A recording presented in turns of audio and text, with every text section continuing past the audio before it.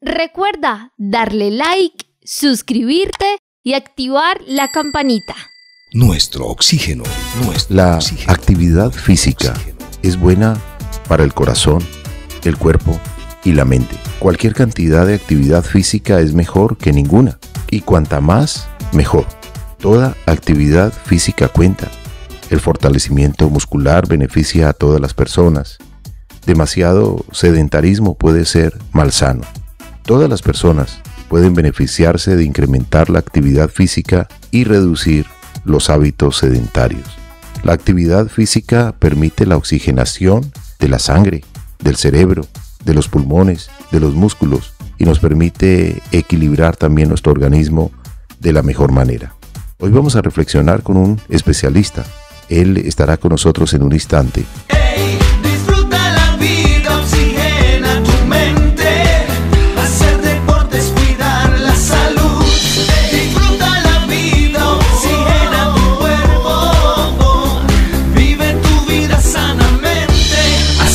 Deporte.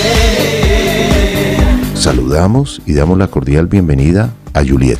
Muchas gracias, Carlos Alberto, Marían. El día de hoy contamos con nuestro invitado, el profesional en deporte Víctor Hugo González.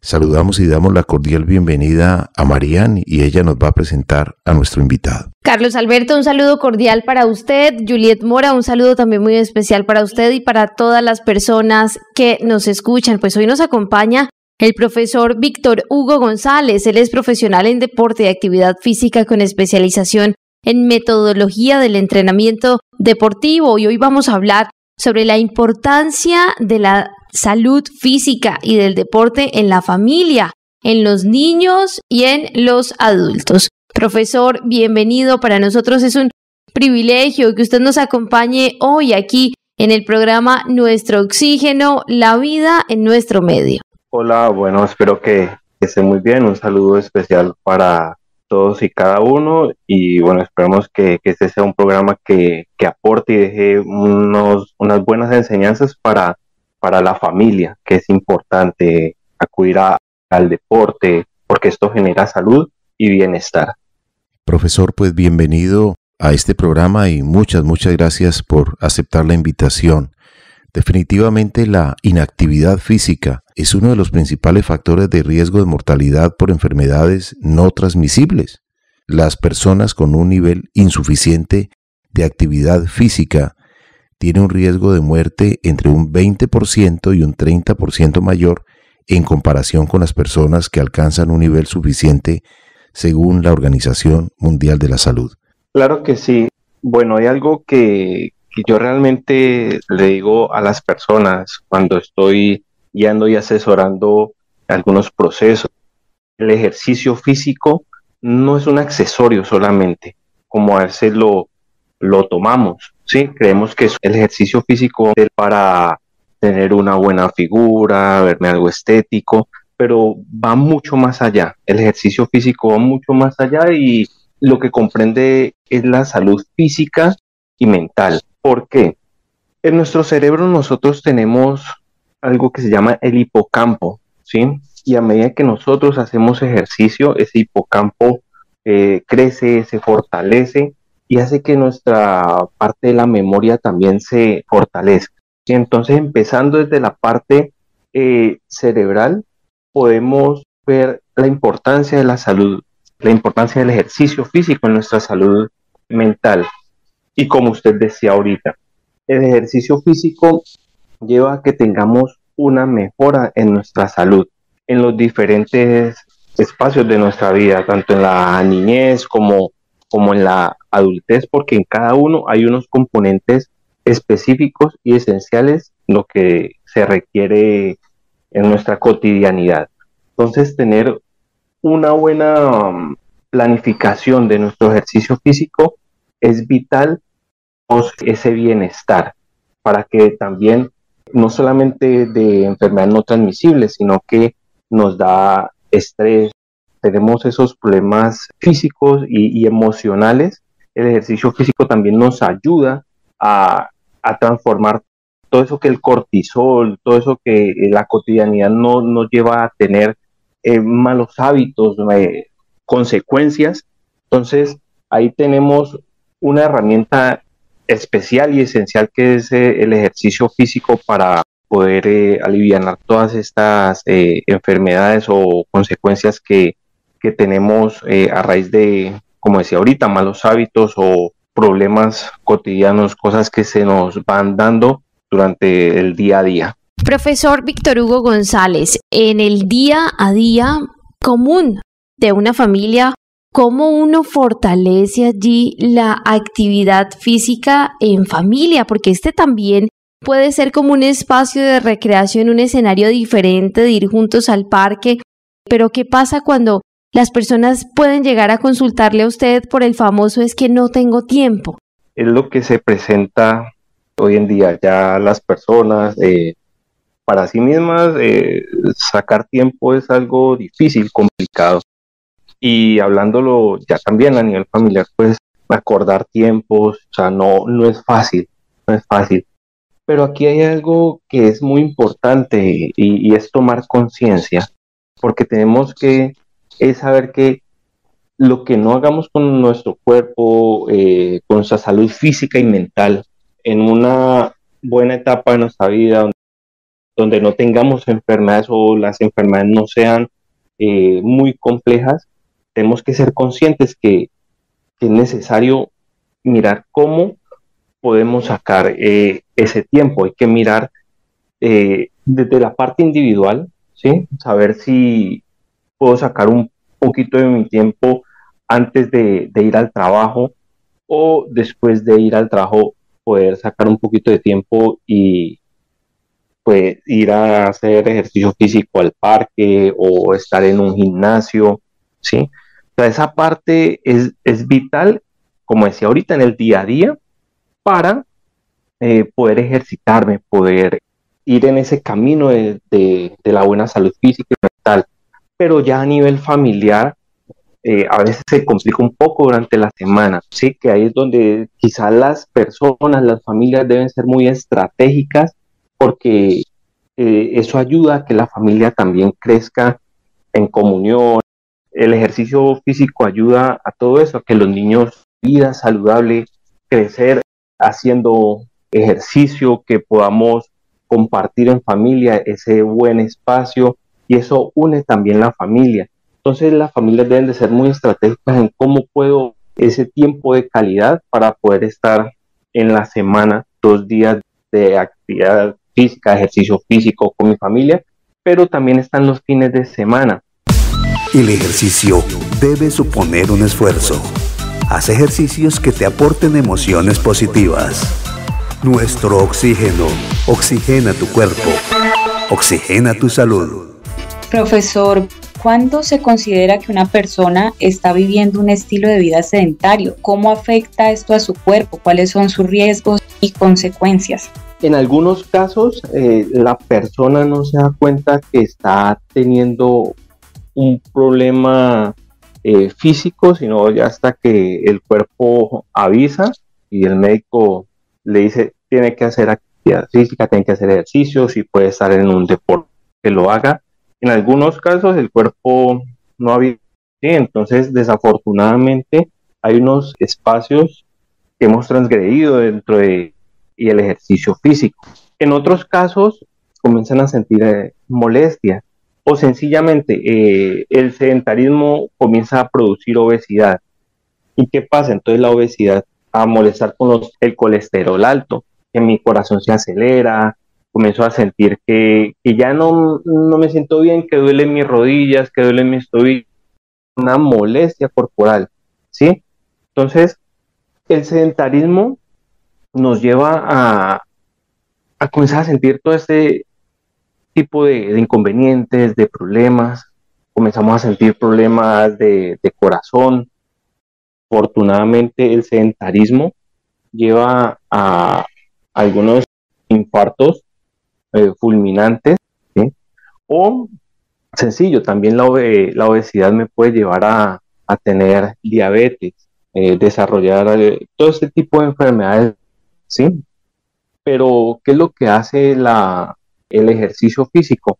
tratar de, de combatir todos estos eh, inconvenientes, eh, mejorar la densidad en sus huesos, que podamos eh, tener mejor actividad articular, pues una buena movilidad articular que, es esencial y más en la adultez, las personas van perdiendo movilidad, van perdiendo conciencia, pero es porque previamente no eh, esa disciplina del ejercicio físico, sino que han sido más bien sedentarios. Entonces, claro, en la adultez podemos perder dependencia y eso hace que las personas adultas también comiencen a tener problemas también mm, comportamentales, mentales.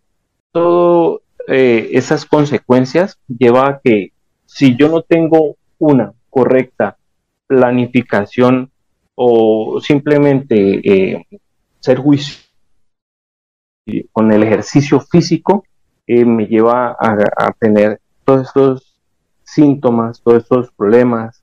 Concretamente, el deporte beneficia a nuestra salud mental. Veamos cómo lo hace. Sigamos reflexionando con nuestro invitado, el profesor Víctor Hugo González. Claro que sí, muy bien. Bueno, yo tengo una, una frase y es el ejercicio es una meditación en movimiento, ¿sí?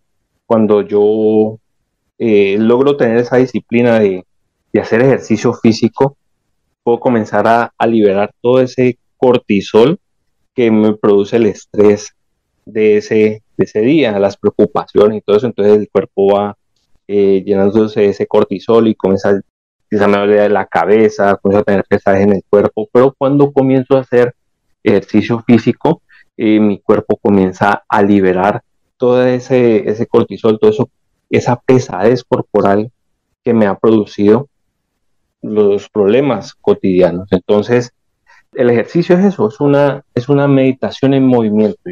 Y al hacer ejercicio físico, puedo, mi cuerpo comienza a experimentar cierto bienestar. Profesor, le quiero consultar porque muchos estudios defienden por supuesto, las virtudes medicinales del ejercicio para mejorar la salud cardiovascular, mental, para prevenir incluso hasta el cáncer.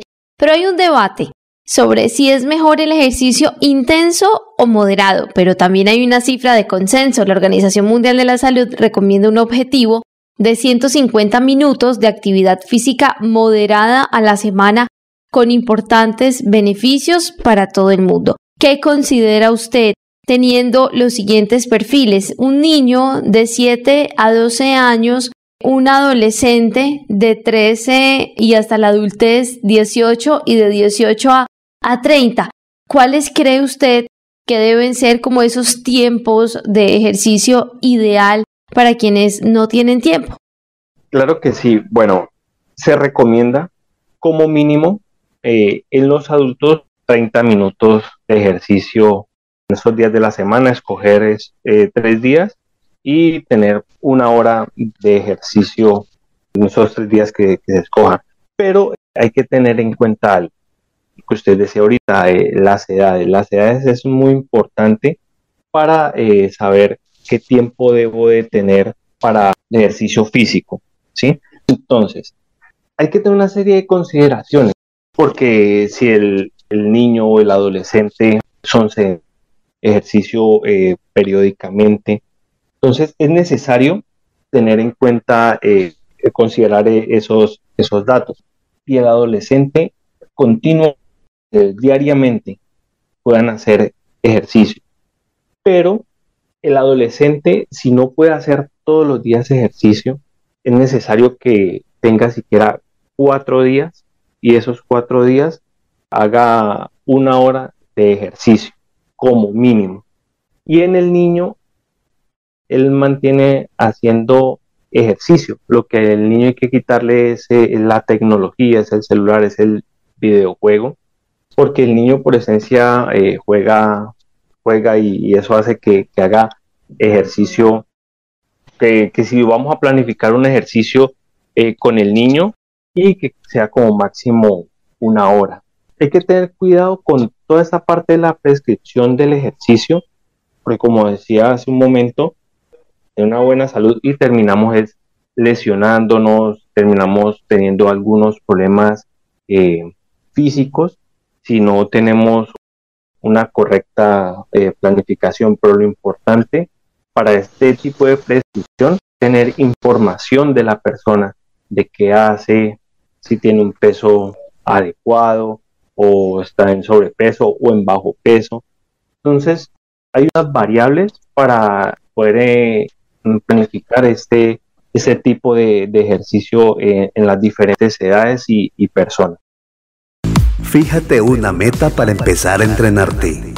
Empieza con ejercicios fáciles y hazlos a tu ritmo.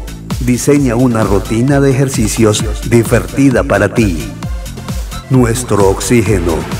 Oxigena tu cuerpo. Oxigena tu salud. Víctor Hugo, hay una frase que pronunció un amigo, un invitado, y dijo, eh, la persona ocupada siempre saca tiempo para todo. El desocupado no puede, porque está ocupado perdiendo el tiempo. Por lo tanto, creemos que hay que lograr tiempo para el ejercicio. Como usted lo decía, tres veces a la semana, de manera moderada si hemos sido sedentarios y de manera un poco más intensa si la persona pues realmente tiene ese hábito de hacer el ejercicio. Además, está comprobado todos los beneficios que hemos mencionado en este programa y también la mejora de la autoestima. Es uno de los beneficios principales que podemos notar cuando hacemos ejercicio de manera habitual durante la semana. La autoestima es la manera en que nos percibimos a nosotros mismos. Y haciendo ejercicio o actividad física durante un tiempo, lograremos estar en forma y sentirnos mejor, tanto a nivel físico como psicológico. En el caso de la práctica de deporte, esta actúa como proveedora de objetivos a corto, mediano y largo plazo, de manera que si nos acostumbramos a jugar fútbol, a entrenar, digamos, caminando hacia el parque, en el barrio, pues realmente vamos a lograr mantenernos en forma. No necesariamente hacemos ejercicios si nos inscribimos en un gimnasio, porque hay personas que siempre dicen con la disculpa, cuando me inscriba en el gimnasio empezaré y nunca se inscriben. O a veces se inscriben y no van, pagan la mensualidad y piensan que pagando la mensualidad ya prácticamente están en forma porque están inscritos en el gimnasio. Hablemos de una práctica sencilla que usted recomiende para comenzar esta actividad física diariamente. Denos una práctica. Sabemos que si hemos sido sedentarios, hay una práctica de los 21 días. Comencemos eh, de manera constante durante 21 días y después de 21 días ya hemos regulado esa práctica y nuestro organismo nos estará pidiendo esa oxigenación, profesor. Sí, es, es muy importante lo que usted dice y en este momento me acordé, en el 2013 se hizo un estudio y se hizo con personas eh, ya de lo que llamamos la tercera edad, ¿sí? Entonces, ¿en qué, en qué se basaba este estudio? Cogieron experimentales, ¿sí? Eh, de personas entre los 60, 55, 60 y 70 años y pues hicieron dos grupos. Entonces, un grupo, esas personas eh, por naturaleza eran sedentarias, no hacían nada de, ejercicio físico, pero entonces un grupo siguió siendo sedentario y el otro grupo eh, le crearon, eh, o le crearon, le dijeron, listo, todos los días, todos los días van a caminar como mínimo 30 minutos, todos los días. Entonces, este, eh, estos grupos comenzaron a seguir las, las indicaciones que el estudio le estaba dando. Y bueno, las conclusiones de este estudio es que las personas que siguieron siendo sedentarias empeoraron en, su salud. Las personas que no tenían eh, problemas de obesidad, que no tenían problemas cardiovasculares, ¿sí? algunas eh, comenzaron a tenerlos. Otras personas no tenían ningún tipo de enfermedad, pero perdían movilidad, o sea, comenzaban a tener problemas ya físicos, Y las personas que tenían eh, enfermedades no transmisibles, eh, alguna su medicación aumentó, siguen estando muy enfermas. Y el segundo grupo, que era el grupo que caminaba todos los días, todos los días por 30 eh, minutos, ¿sí? Este grupo empezó a tener una, una mejora en su salud. No a grandes rasgos, pero sí eh, poco a poco empezó a ver la mejora de estas personas en la salud física y mental. ¿sí? Entonces, esas personas que hacían ya ejercicio físico comenzaron a tener nuevos proyectos de vida. No solamente mejoraron desde su parte física, sino desde su parte mental. Crecieron en su, en su relación con las demás personas. Entonces comenzaron a haber una serie de cambios en estas personas y llegaban pues a esa conclusión de que las personas era necesario que como mínimo eh, las personas adultas como mínimo caminaran todos los días 30 minutos. Entonces, es necesario que al planificar o al hacer ejercicio eh, físico, bueno, hay que considerar algo también. Y es que si no tenemos como en mente qué hacer, es necesario eh, buscar la asesoría y la ayuda de, un profesional en el área. ¿Por qué? Porque es que eh, en algunos casos las personas comienzan a, hacer ejercicio y comienzan a, ver quizá algunas eh, rutinas en el computador, pero es que no es solamente hacer la rutina, porque es necesario tener en cuenta la postura, la parte corporal para no lesionarme. ¿sí? Entonces las personas van al gimnasio y el primer día de gimnasio van y, hacen todas las máquinas y al otro día no se quieren parar por el dolor, la molestia corporal que sienten.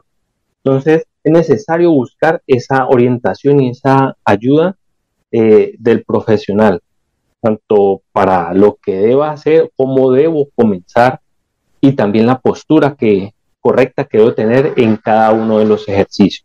Sí, entonces es necesario que las personas que van a ir al gimnasio tengan en cuenta esa parte. Si no van al gimnasio, sino que mm, van al parque, es necesario que comiencen con algo muy suave, como digo, caminar, caminar. Si no tienen, digamos, problemas articulares en rodilla, en tobillo, podemos eh, mezclarlo entre caminar y trotar, pero todo todo hacerlo de una forma moderada, de una forma que me permita eh, disfrutar lo que hago, porque es que el ejercicio debe ser un disfrute, no ahogarme, no, no, el no disfrutar el ejercicio también me lleva a, no querer continuar, sino que eso lo veo más como una, una tortura que me beneficia, ¿sí? Entonces no se trata de eso tampoco.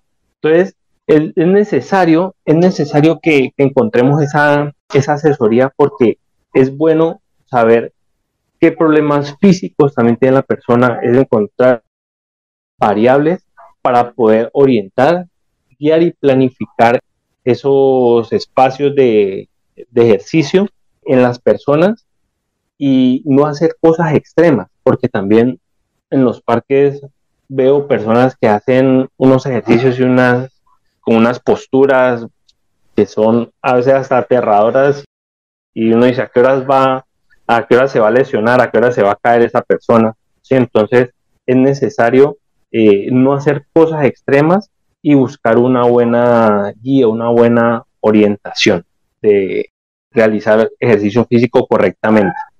Muchísimas gracias por su tiempo, profesor Víctor Hugo González, y por haber profundizado con nosotros sobre la importancia del deporte y la creación de hábitos saludables. Nos quedan enseñanzas valiosísimas sobre el ejercicio físico. Sabemos que no es solo un accesorio. El ejercicio lo debemos tomar como una meditación en movimiento, como usted bien nos lo explicó, y debemos disfrutar lo que hacemos, ya que esto es en pro de nuestra salud y bienestar. Muchísimas gracias por su tiempo, profesor Víctor Hugo González, profesional en deporte y actividad física con especialización en metodología del entrenamiento deportivo. Cuéntenos cómo se pueden contactar los oyentes con usted. Bueno, yo trabajo una empresa que se llama Enlace Corporativo. Nosotros tenemos un programa que se llama F, que es entrenamiento y actividad física. Eh, nos pueden contactar eh, en el 317-740-6320, donde nosotros desde la parte emocional también muchas personas como les favorece eh, el ejercicio físico, porque depresión, algún tipo de problema emocional. Entonces lo que hacemos es tratar desde la parte física y emocional, ciertos aspectos la persona y también creamos entrenamiento para mejorar en lo que es la salud física, mental y en todo lo que es el bienestar de la persona. Muchas gracias a nuestro invitado, muchísimas gracias a Marianne, a Juliet, lo mejor de lo mejor para todos ustedes. Les decimos Mariana Aguilar Quintero, Juliet Mora, Oscar Giraldo, Andrés Aponte Agudelo, Juanito Mosquera, Carlos Alberto Ramírez Becerra y esta emisora que nos retransmite a través de las ondas hercianas. Pero ustedes también pueden escuchar el programa a través de los archivos en diferido que son los archivos podcast. Los campeones siguen jugando hasta que lo hacen bien. Y me despido con dos frases. Una del gran Walt Disney, una de sus frases más conocidas fue, la clave para iniciar algo es dejar de hablar y ponerse a realizar. Y el campeón Michael Jordan, este gran deportista, dijo, tan solo juega, diviértete y disfruta el deporte. Nuestro oxígeno por todo el ar con Carlos Ramírez. Nuestro oxígeno. Recuerda que si quieres escuchar más contenido como este, educativo, debes darle like, suscribirte y activar la campanita para que te lleguen todas las notificaciones.